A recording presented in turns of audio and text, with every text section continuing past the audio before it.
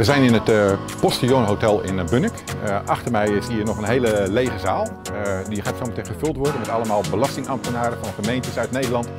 En ja, we gaan er gewoon een keihard feestje van maken.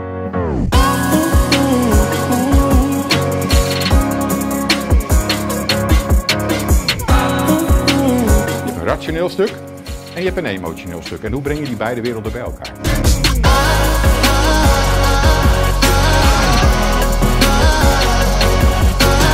Wij als Van de Bossen Partners, wij, wij, adviseren gemeenten en waterschappen over hoe ze om moeten gaan met hun belastingen, het introduceren van nieuwe belastingen, het procederen bij de belastingrechter.